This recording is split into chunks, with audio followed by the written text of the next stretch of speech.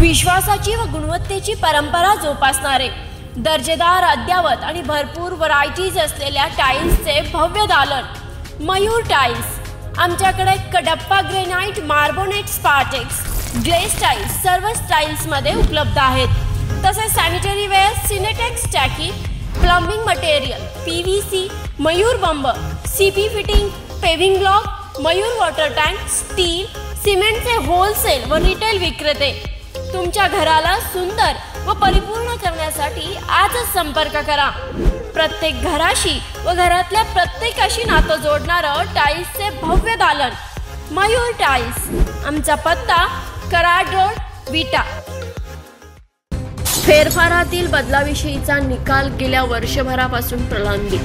वारंवार पाठपुरावा करूनही अधिकाऱ्यांकडून बेदखल कुटुंबियांचे जत प्रांत कार्यालयासमोर आमरण उपोषण. हक्क नोंद निकालाची प्रत मिळत नसल्याने जत तालुक्यातील आवंडी येथील तोरणे कुटुंबाने प्रांताधिकाऱ्यांच्या कार्यालयासमोरच आमरण उपोषण सुरू केले आहे. न्याय मिळेपर्यंत उपोषण मागे घेणार नसल्याचे आंदोलन करते विजय तोरणे यांनी म्हटलं आहे. यावेळी यावेळी पुढे बोलताना ते म्हणाले प्रशासनाकडून जमीन पुनर्विलोकनाच्या तरतुदीने पालन केले जात नाही शासनाच्या नियमांची पायमल्ली सुरू आहे. फेरफारातील बदलाविषयीचा निकाल गेल्या वर्षभरापासून प्रलंबित आहे. वारंवार पाठपुरावा करूनही महसूल अधिकाऱ्यांकडून दखल घेतली जात नाही. त्यामुळे मनस्ताप सहन करावा लागत आहे यामुळेच उपोषणाचा निर्णय घ्यावा लागला आहे. त्याच्यासोबतच वंदना तोरणे खुशबू तोरणे हनुमंत तोरणे अतुबाई तोरणे हे उपोषण करत आहेत.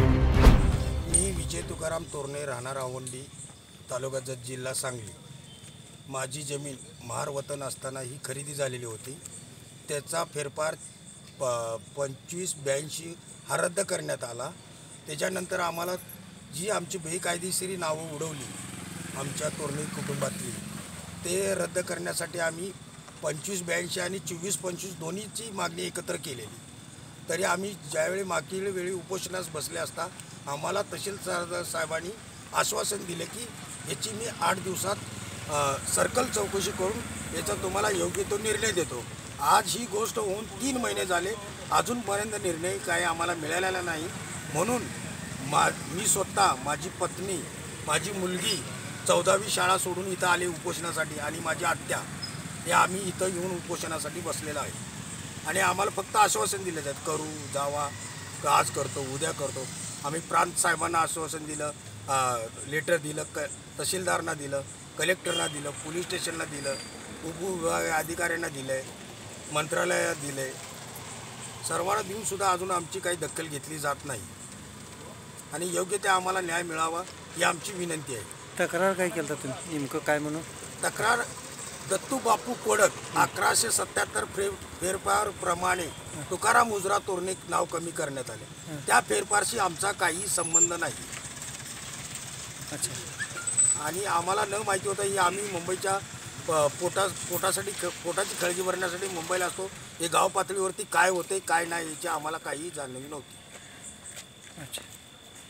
आणि ही खरेदी झाल्यानंतर आम्हाला माहिती पडलं आम्ही याचा एक वर्ष झालं पाठपुरावा करतोय रद्द होऊन मिळावं मग आता ही जी तुमची जमीन आहे ते त्याचे खरेदी झालेले आहे काय? खरेदी होऊन तिने एक एक फेरफार रद्द केला पाटलांचा. महारवतन जमीन जमीन होती ती. रद्द केला. बेकायदेशीर आमची नावं उडवलेली. बरं. ती उडवून दुसऱ्यांची लावली? दुसऱ्याची नावं लावली. अच्छा. मग आता त्यांनी ते विकलेत का ते आहेत? ते आहेत. ती जमीन आमच्या ताब्यातच आहे. आमच्याच ताब्यात आहे. जमीन बरं. पण तुमचे ते नावं बेकायदेशीर बेकाय- बेकायदेशीर असं दाखवून त्यांनी उडवून टाकले. चोवीस पंचवीस फेरफारने बरं बरं. आदेश आहे म्हटलं की तुम्ही कोणाचा आदेश आहे? कुठल्या अधिकाऱ्यांचा तुम्हाला आश्वासनाचा आदेश दिलेला हा तहसीलदार साहेबांचा आदेश आहे. काय आदेश होता? की बाबा तुम्हाला आठ दिवसात हा फेरफारची चौकशी करून तुमचा निकाली काढतो. बरं. तिसरा महिना संपून चौथा महिना चालू आहे. तो पण अर्धा झालेला आहे. म्हणजे साडेतीन महिने झालेले आहेत. अजून आम्हाला काही आमचे नावं चढवलेले नाही आहे आणि आम्हाला काही निकाल मिळालेला नाही. बरं.